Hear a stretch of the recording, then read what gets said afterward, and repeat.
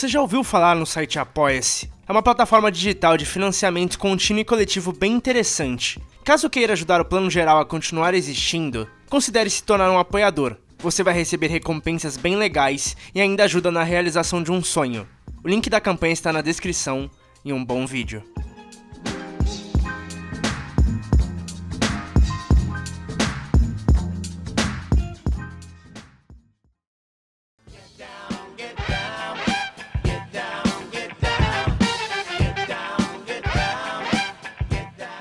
Com seu novo filme chegando e uma versão estendida de Django Livre, eu não poderia deixar de falar de um dos diretores mais populares de todos os tempos, Quentin Jeremy Tarantino.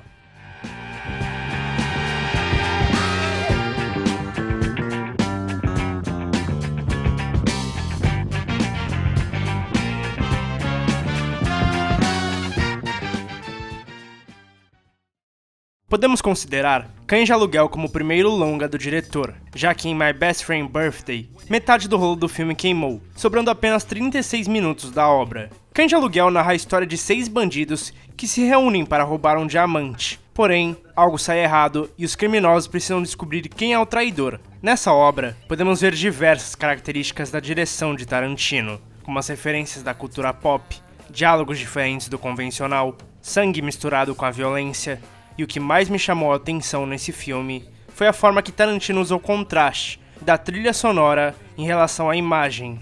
Vamos ver essa cena do longa 007 contra Spectre.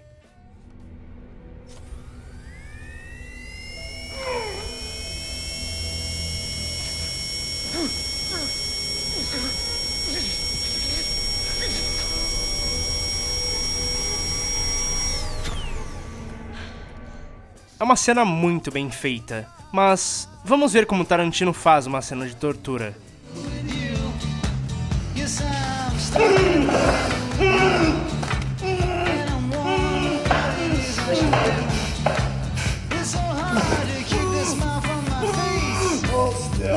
Ele usa esse contraste entre uma música calma e agradável com uma cena extremamente violenta. Tarantino, quando escreve seus roteiros, ele já pensa na trilha que vai compor a cena, e talvez por isso que elas fiquem tão incríveis e memoráveis. O roteiro não linear é outra marca do diretor, ou seja, Tarantino normalmente não segue uma sequência cronológica em seus filmes, e podemos ver isso muito bem em Pulp Fiction.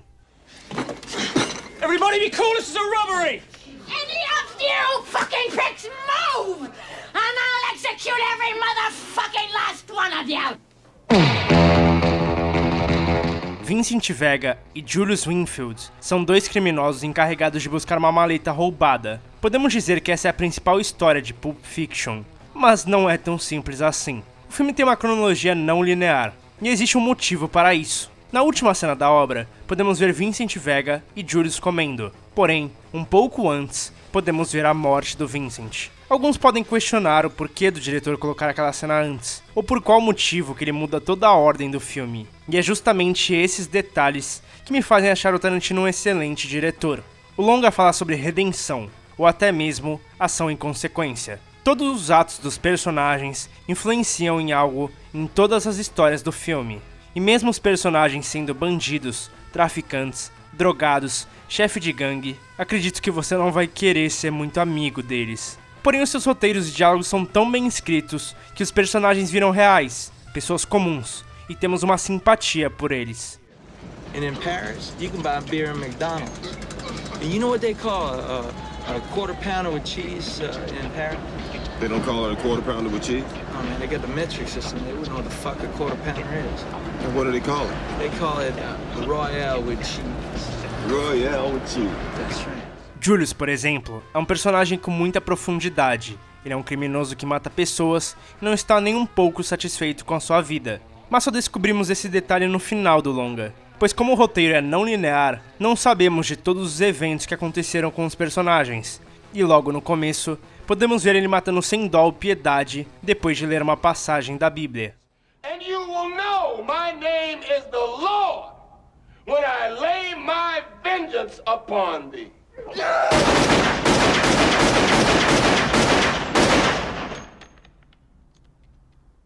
E lá para o final do filme, vemos o final real da cena.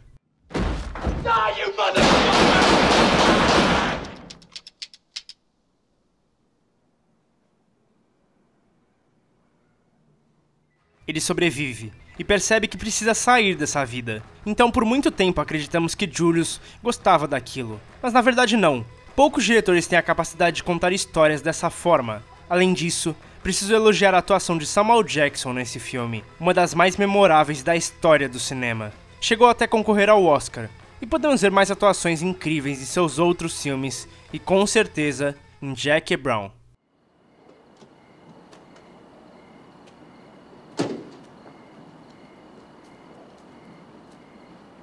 Do a nigga a favor, gotta do Jack Brown é uma comissária de bordo que trafica dinheiro a mando de um vendedor de armas. Porém, quando dois policiais oferecem um acordo para que ela entregue o bandido, a mulher decide enganar a todos e conseguir a liberdade e o dinheiro. Um detalhe que me chamou a atenção foi um amadurecimento na direção de atores. Robert De Niro, por exemplo, interpreta um homem que saiu recentemente da cadeia. Ele é misterioso e nunca sabemos o que ele pode fazer. Samuel Jackson é o vilão que trafica armas. Ele é caricato, sabe ser duro, mas também adora fazer piadas. Robert Forster, que inclusive foi indicado ao Oscar por esse papel, é um homem de meia idade que tem um trabalho que odeia e está à procura de um amor. E Pan Green, que interpreta a protagonista, nunca sabemos exatamente as suas intenções. Todos estão excelentes no papel, e a prova disso é o silêncio. Muitas das informações que falei podemos perceber apenas pelos olhares de cada um.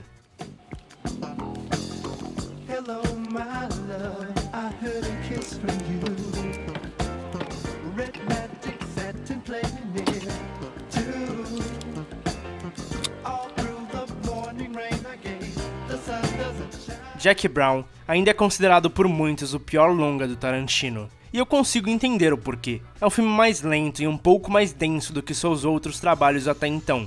Mas todas as suas marcas estão lá. E sim, é um ótimo filme de qualquer forma. E acredito que essa obra tem ensinado para o Tarantino o poder de uma ótima montagem. E ele utiliza muito bem o que aprendeu em Kill Bill.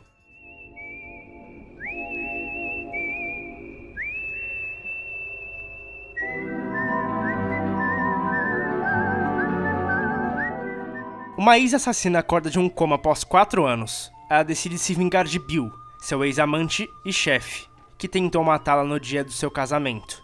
Preciso dizer que esse é meu filme favorito do Tarantino, e acredito que uma das principais razões disso é a mistura de gêneros que Tarantino trabalha nesse filme. Tanto gêneros quanto subgêneros. Artes marciais, anime, faroeste, ação, aventura, thriller e muito mais. Mas como eu disse, a montagem desse filme é impressionante, como na cena de Beatrix treinando artes marciais com seu mestre.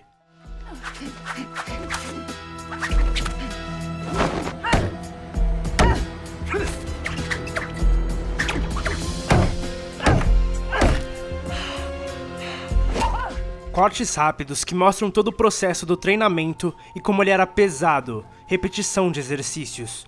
O pai Mei, mestre da Beatrix, sempre visto de baixo como superior, tudo muito bem feito. Em junção ao roteiro, a montagem nos conta uma história. Na primeira cena do longa, podemos ver uma mulher no chão, inocente e prestes a morrer. Mas na verdade, ela não é nada disso.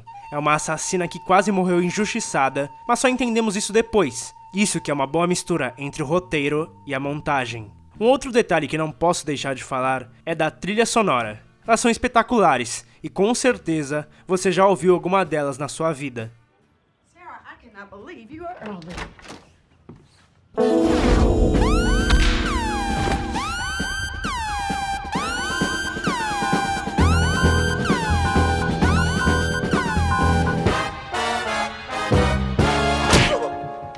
Ou essa.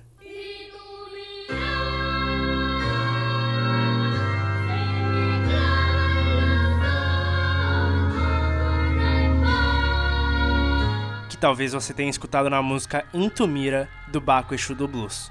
Pago cadê o ano lírico, o zero do ano. Eles estão me cobrando. Eu tô trabalhando. Minha mulher brigando. Minha mãe te amo. Se você tem nome de Deus, por que erra tanto? Porque ai- Tarantino adora usar contra-plongés, um enquadramento usado para mostrar a grandiosidade e superioridade do que está sendo filmado, como o próprio Pai Mei na cena do treinamento. Com certeza uma marca bem legal do diretor. o enquadramento que quase todos os diretores usam, mas não da forma Tarantino. O próximo filme que eu citaria seria A Prova da Morte, porém ele é um segmento do longa Grindhouse, que é uma coletânea de filmes com cinco diretores diferentes. E sinceramente, A Prova da Morte é o filme que menos parece ser dirigido por Tarantino. Os diálogos são monótonos, fotografia cansativa, vilão sem motivação, personagens sem carisma, mas é um filme divertido até. Como a sequência final é uma ótima cena de ação. Então, vamos continuar a ordem com Bastardos Inglórios.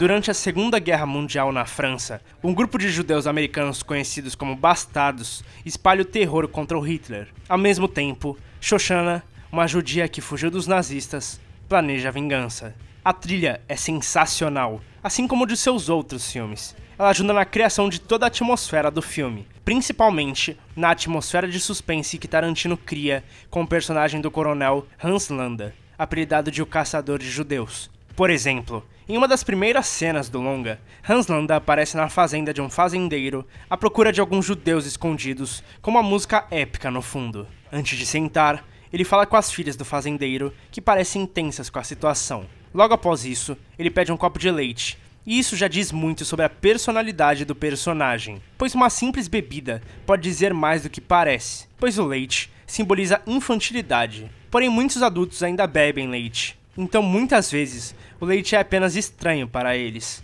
E quando um coronel, pronto para matar todos os judeus que encontrar, bebe um copo de leite, você sente medo e o poder dele. Mais à frente, temos um longo e calmo diálogo sobre a família que o coronel está procurando. Ele chega até a oferecer recompensas para o fazendeiro se contar onde estão escondidos. Enquanto isso, vemos onde a família está, escondida debaixo da casa. O personagem do fazendeiro fuma um cachimbo para tentar aliviar a tensão. E o cachimbo ou o cigarro podem significar poder no cinema. Então o fazendeiro queria mostrar quem é que manda naquela casa. Porém, Hans Landa pede outro copo de leite. O fazendeiro obedece às ordens e logo após, Hans Landa fuma um cachimbo, muito maior e muito mais bonito do que o do fazendeiro. Então Hans Landa tem todo o controle da situação. O fazendeiro começa a ficar encurralado e se sente totalmente oprimido com a situação, e sabe que se não entregar a família judia, irá morrer. Então ele entrega a família escondida, a trilha começa a ficar tensa e o pior acontece. mesdemoiselles, je prends congé de vous et je vous dis adieu.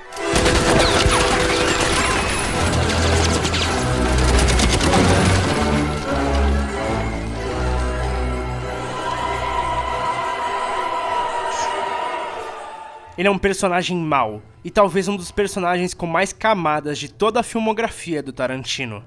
Alfred Hitchcock foi um diretor incrível e tinha uma teoria para explicar o que é o suspense, e podemos comparar essa cena com a própria teoria da bomba do Hitchcock. You and I sitting talking, we'll say, about baseball. We're talking for five minutes. Tell the audience at the beginning that under the table and show it to them. There's a bomb, and it's going to go off in five minutes. And we talk baseball. What are the audience doing? They're saying, don't talk about baseball. There's a bomb under there. But they're helpless. They can't jump out of their seats up onto the screen and grab hold of the bomb and throw it out. Bastardos Inglórios é um filme sensacional. Tarantino sempre é criativo e continua inovando em seus filmes. A prova disso é Django Livre.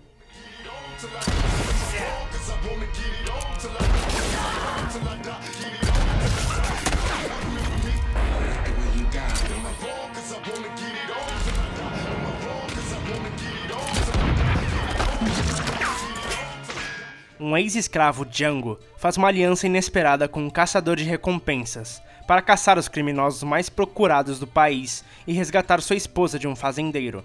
Django foi um filme controverso de Tarantino, pois muitos acharam um longa desrespeitoso à história dos negros. Spike Lee, um dos diretores que sempre lutou por esses movimentos, disse: Tudo que eu posso dizer é que ele é desrespeitoso aos meus ancestrais. Mas esse sou eu. Não estou falando por mais ninguém. A escravidão nos Estados Unidos não foi um western spaghetti de Sérgio Leone, mas um holocausto.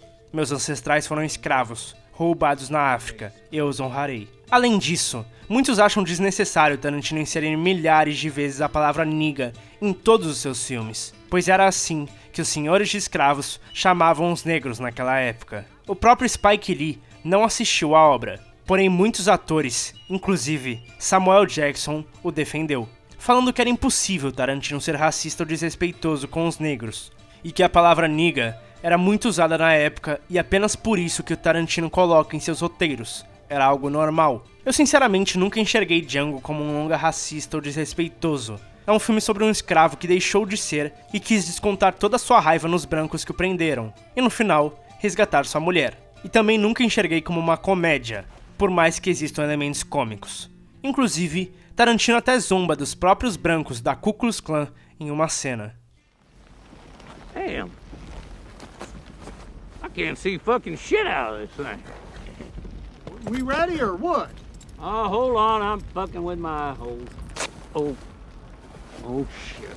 Uh, I just made it worse. Who made this goddamn shit? Willard's wife. You make your own goddamn match. Por mais que tenha toda uma polêmica, analisando apenas a obra, Django Livre continua sendo um filme incrível, uma aventura épica, com uma trilha recheada de lendas como Tupac e James Brown. Tarantino quis colocar a sua visão sobre uma nova ideologia de que o negro não era apenas um escravo, criando um herói para a época. You may think he's a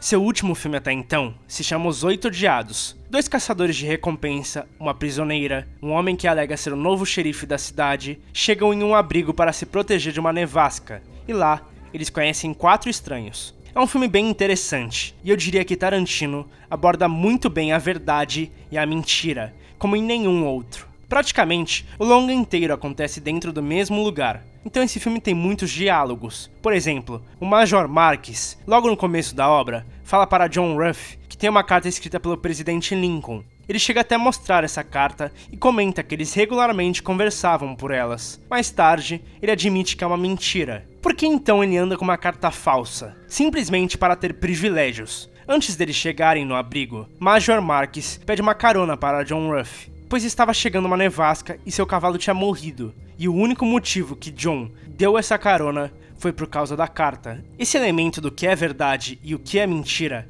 é usado no longa inteiro, tanto para os privilégios dos personagens, como para criar uma tensão naquele abrigo. Além disso, sabendo que nenhum personagem pode ser de confiança, começamos a desconfiar de todos no estabelecimento, e assim a trama fica bem mais empolgante. Filmes como Assassinato no Expresso do Oriente, Exame, Demônio, tentam fazer algo parecido, mas nem de perto conseguem criar atenção em um roteiro tão interessante como o de Oito Odiados. But about 40 seconds before that, something equally as important happened, but not everybody saw it. While Major Warren was captivating the crowd with tales of black dicks and white mouths, somebody poisoned the coffee. He did everything I asked. Tarantino mostra quem ele é nos filmes, sua personalidade, o que sente, o que pensa. Está tudo ali. Mesmo filmando tantos pés femininos, que ele chegou até a assumir ser um fetiche para o público. Quentin Jeremy Tarantino, sem dúvidas, é um dos melhores diretores da atualidade e talvez de todos os tempos. Muitos o criticam por usar muitas referências de obras antigas ou da cultura pop em geral, e realmente, ele usa, porém não vejo como um defeito ou um problema.